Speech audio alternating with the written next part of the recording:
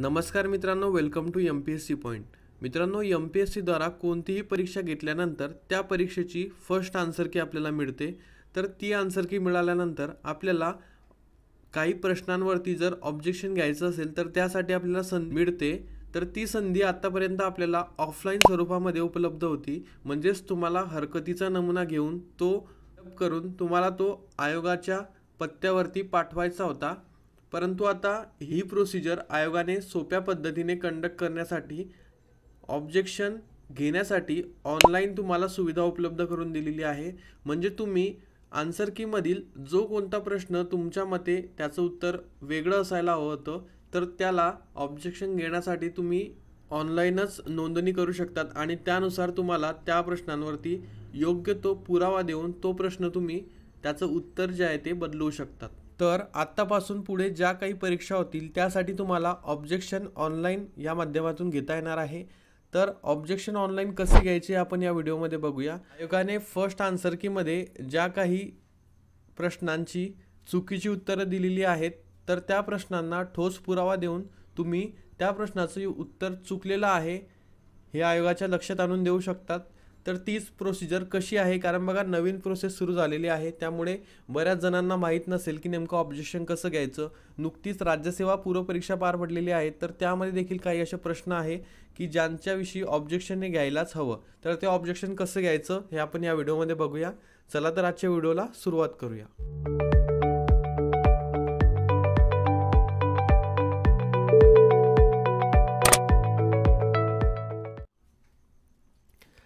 तर प्रथमतः तुम्हाला ऑब्जेक्शन घेण्यासाठी या वेबसाईटवरती यायचं आहे किंवा बघा ही लिंक मी डिस्क्रिप्शनमध्ये देऊन देईल. आणि जर तुम्ही टेलिग्राम चॅनल जॉईन केलं नसेल तर तिथे देखील मी ती लिंक टाकलेली आहे. तिथून तुम्ही डायरेक्टली क्लिक करून लिंकवर जाऊ शकता. तर लिंकवर आल्यानंतर इथं तुम्हाला लॉग इन करावं लागेल. ऑब्जेक्शन आपल्याला घ्यायचं आहे तर त्यासाठी लॉग इन हे मेंडेटरी असणार आहे. तर इथे तुम्हाला तुमचा मोबाईल नंबर किंवा ईमेल आय डी टाकावा लागेल. तर मी सिम्पली माझा तर इथे मोबाईल नंबर मी टाकलेला आहे. त्यानंतर तुम्हाला गेट ओ टी पी या बटनावर क्लिक करायचं आहे. गेट ओ टी पी या बटनावर क्लिक केल्यानंतर तुमच्या मोबाईल नंबरवरती एक ओ टी पी येईल. तर तो ओ टी पी तुम्हाला इथे प्रविष्ट करावा लागेल.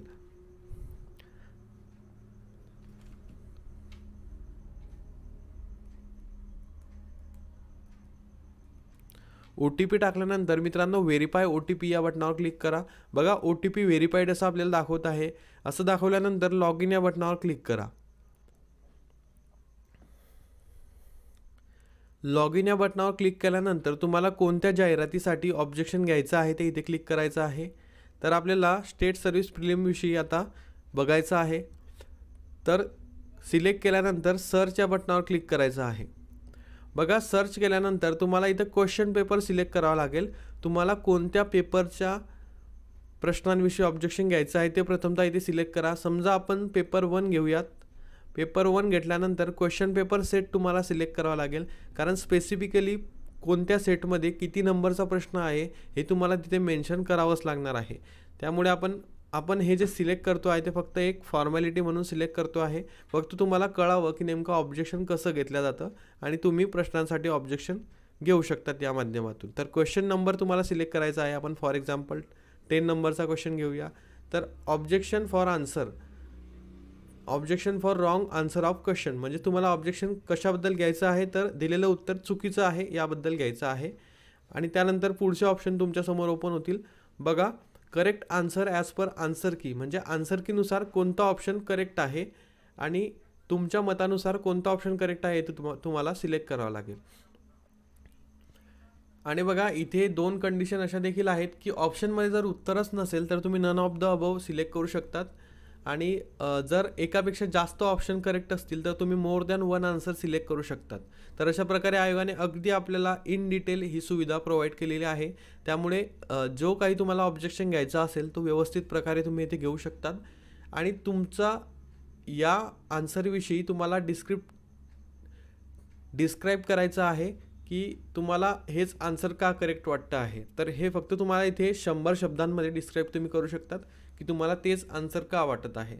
त्यानंतर तुम्ही आन्सर जे म्हणता आहात त्यांच्यासाठी पुरावा कोणता आहे? म्हणजे कोणतं रेफरन्स बुक आहे किंवा रिपोर्ट आहे गव्हर्नमेंटचा आणि त्याचं इयर ऑफ पब्लिकेशन म्हणजे कोणत्या वर्षी तो प्रकाशित झालेला आहे हे तुम्हाला इथे टाकावं लागेल. कोणतंही रेफरन्स बुक असेल बघा त्याचं तुम्ही नाव टाकू शकतात आणि त्याचं पब्लिकेशनचं इयर इथे टाकू शकतात. गव्हर्नमेंट रिपोर्ट वगैरे असतील गव्हर्नमेंट साईट असतील तर त्या देखील इथे मेन्शन करू शकतात. त्यानंतर ऑथर कोण आहे किंवा पब्लिशर कोण आहे हे देखील तुम्ही वीस शब्दांमध्ये इथं टाकू शकतात. तर कोणत्या पेजपासून तर कोणत्या पेजपर्यंत या सोर्समधून तुम्ही बोलत आहात तर ते तुम्ही इथे टाकू शकतात. आणि बघा इथं तुम्हाला पी डी एफ अपलोड करता येणार आहे. आता जो पुरावा तुम्ही देणार आहात तर त्याची तुम्ही इथे एक एम बीपर्यंतची पी डी एफ अपलोड करू शकतात. बघा ते एकापेक्षा जास्त पेजेस देखील असू शकतील जर तुम्हाला रेफरन्स द्यायचा असेल तर. त्यामुळे पी डी एफ फॉर्मॅटमध्ये अपलोड करा इमेज वगैरे अपलोड करू नका कारण ते होणार नाही तुम्हाला एरर येईल. तर अशा प्रकारे तुम्ही प्रत्येक प्रश्नासाठी इथं ऑब्जेक्शन रेज करू शकतात. आणि मित्रांनो हे प्रोसेस ऑनलाईन करण्याचा आपल्याला नक्कीच फायदा होणार आहे. लवकरात लवकर आपली सेकंड की येईल आणि आयोग अगदी लवकरात लवकर आपले उत्तरं जे आहेत ते विचारात घेऊन त्याविषयी सेकंड की जे आहे ते पब्लिश करणार आहे. तर हे सर्व केल्यानंतर ॲड ऑब्जेक्शनवर क्लिक करा. आणि त्यानंतर इतर ऑब्जेक्शन घ्यायचे असतील तर तुम्ही कितीही ऑब्जेक्शन घेऊ शकतात. यामुळे एक फायदा असा की तुम्हाला जे पोस्टाने ऑब्जेक्शन पाठवावे लागत होते ते आता करण्याची गरज नाही. तुम्हाला ऑब्जेक्शन तुमचे लेट जाणार नाही. अगदी इथे तुम्ही क्लिक कराल तेव्हा आयोगाला तिथे नोटिफिकेशन जाऊन तुमचं ऑब्जेक्शन दिसणार आहे की कोणत्या प्रश्नावरती ऑब्जेक्शन आलेले आहे. त्यामुळे जे काही संदिग्ध प्रश्न आहेत त्याविषयी मॅक्झिमम ऑब्जेक्शन तुम्ही इथे घेऊ शकतात आणि रिसोर्स किंवा सोर्स जो आहे रेफरन्स जे आहे ते तुम्ही इथे देऊ शकतात. तर या स्वरूपातून तुम्हाला ही माहिती द्यायची होती की नेमकं ऑब्जेक्शन आपण कसं घेऊ शकतो. तर येणाऱ्या पुढील परीक्षांसाठी देखील हा व्हिडिओ तुमच्यासाठी महत्त्वाचा ठरेल. तर अशा प्रकारे तुम्ही ऑब्जेक्शन घेऊ शकतात. मित्रांनो टेलिग्राम चॅनल जॉईन केलं नसेल तर करून घ्या. आणि जर तुम्हाला हा व्हिडिओ आवडला असेल नक्कीच या चॅनलच्या माध्यमातून काहीतरी तुम्हाला बेनिफिट होत असेल तर या चॅनलला सबस्क्राईब करून या व्हिडिओला लाईक करू शकता. आजच्या व्हिडिओसाठी एवढेच. भेटूया पुढच्या व्हिडिओमध्ये थँक्यू फॉर वॉचिंग